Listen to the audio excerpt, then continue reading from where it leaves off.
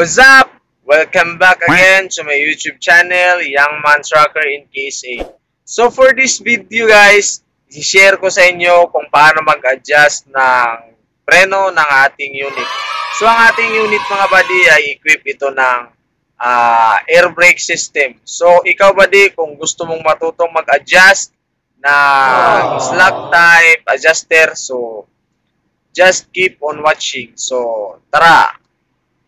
A few moments later. So, unang-una mga buddy, i-secure muna natin yung ating mga pangalso. Kasi maya-maya, i-re-release na natin yung ating parking brake. So, yan mga buddy. Ikot lang tayo dito. So, hindi tayo nakauwi ng garahe mga buddy. So, kailangan adjust muna natin yung ating preno dito sa Gilid lang tayo ng kalsada mga buddy. Gilid ng highway.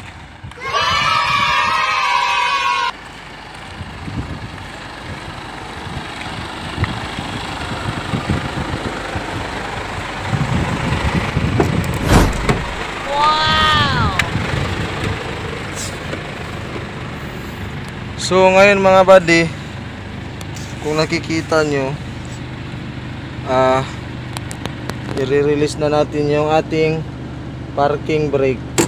Oh no! So, susuot na tayo dito mga buddy. Oh no! So, ayan mga buddy, ang ating slack type adjuster. Wow! So, iba't iba ang uri ng slack type adjuster mga buddy, no?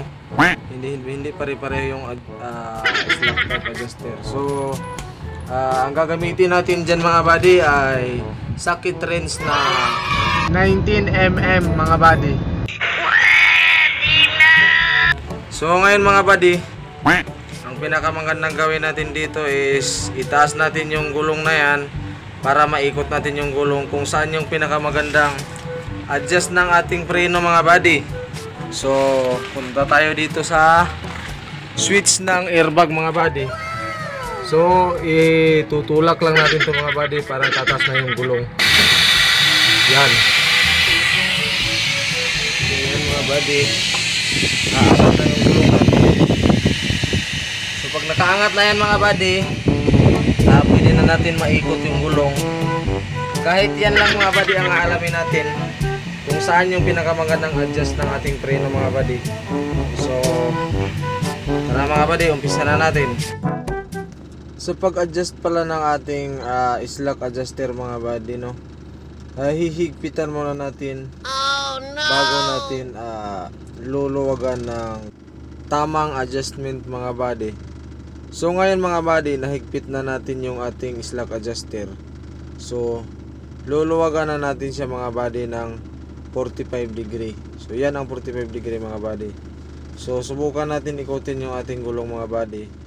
Wow! natin ang magandang adjust. So, ngayon mga buddy, ayos mga buddy. Yun ang pinakamagandang adjustment ng ating ice lock adjuster mga buddy. So, higpitan natin siya ulit mga buddy. Ipakita ko sa inyo yung 30 degree lang mga buddy. Ayun. Ah, adjust natin ng 30 degree. So, subukan natin ikutin yung gulong. Hindi nyo matigas ikutin mga buddy. Nakasukit yung ah, ating preno. So, ibalik natin mga buddy. Ah, higpitan na naman natin ulit mga buddy. Pagka nahigpit na natin siya mga buddy, so yun, mahigpit na. O, so, luwagan na naman natin ulit. Ibalik natin sa 45 degree. Kasi yun ang tamang ah, adjust ng ating preno mga buddy. Ating ah, slack adjuster. So, yun mga buddy, kailangan takpan natin palagi yan buddy kasi grasa yan doon sa slack adjuster natin sa ilalim niya. So, ngayon mga buddy, dito naman tayo sa right side mga buddy. So, ang gagawin natin mga buddy, higpitan natin siya ulit mga buddy. Same procedure lang din to sa ah, left side mga buddy. So, pagkatapos natin, o 45 degree mga buddy. So, ganyan lang kadali mag-adjust ng ating slack adjuster mga buddy sa ating air brake system. So, proceed tayo mga buddy dito sa ating second axle. So, same procedure lang din tayo mga buddy sa first axle. kung nabansin nyo yung ating gulong nakalapat sa simento ah, ayos lang yan mga buddy na hindi natin iangat kasi alam na natin yung tamang adjustment ng ating slack adjuster so ganyan lang kadali mag-adjust ng ating slack adjuster mga buddy no kasi ah, wala naman tayong ita-timing dyan. Kung di ah, gayahin lang natin yung procedure na ginawa ko kanina sa una.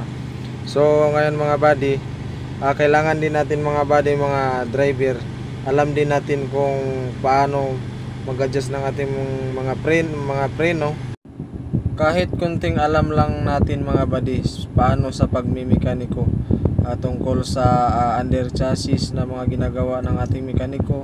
Yung kahit mga basic lang mga buddy na ginagawa ng ating mekaniko kailangan alam din natin yun para kung sakaling nasa kalsada tayo hindi tayo maiwan mga buddy so tayo na mismo ang gagawa. So hindi na tayo mag-aantay ng rescue mga buddy alam naman natin kung paano gawin basta mga basic lang. So wag natin itanim sa mga isip natin mga buddy na nag-apply naman ako dito na bilang driver hindi naman mekaniko. So malaking advantage pa rin sa atin mga driver mga buddy na alam natin yung mga basic na pagmimekaniko. Kasi ganyan ang ginagawa ko mga buddy. Pag nagpagawa ako ng sasakyan ko ah, pinanonood ko yung ah, gumagawa ng aking sasakyan. Para makakuha din tayo ng kunting kaalaman tungkol sa pag ah, ginagawa nila sa pagmimekaniko so kahit basic lang mga buddy ah, kung ikaw man masiraan sa daan so may ideya ka din kung paano gawin Ah, kung napapansin nyo naka, ah, nakaapak na yung gulong mga buddy kasi alam na natin mga buddy doon sa kabila Ah, 45 degree ang adjust natin mga buddy. So pantay lahat to sa trailer mga buddy. So ngayon mga buddy, ah, hihigpitan natin siya. Papantay natin sa kabila. So pagkatapos buddy, 45 degree. Yun. So okay na yan buddy. Sa kabila din buddy, ganun din. Ganun din dito mga buddy. Higpitan din natin pagkatapos natin ihigpit so i-45 degree natin mga body so yun ganyan lang kadali mag-adjust ng slack adjuster ng ating air brake system. So kailangan body pare-pareho yung adjust natin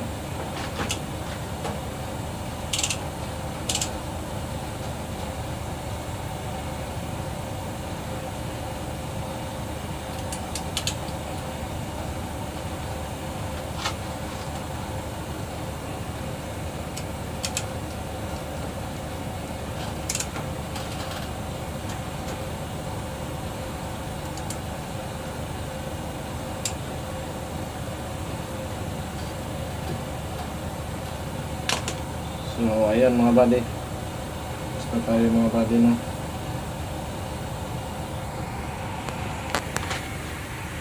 A few moments later. So, ngayong tapos na tayo mag-adjust ng ating slack adjuster mga buddy sa ating preno. So, bago natin tatanggalin yung ating mga pangalso mga buddy, ah, i-make sure muna natin mga buddy na naka-engage na yung ating ah, naka-engage na yung ating ah, parking brake mga buddy. Ayan mga buddy.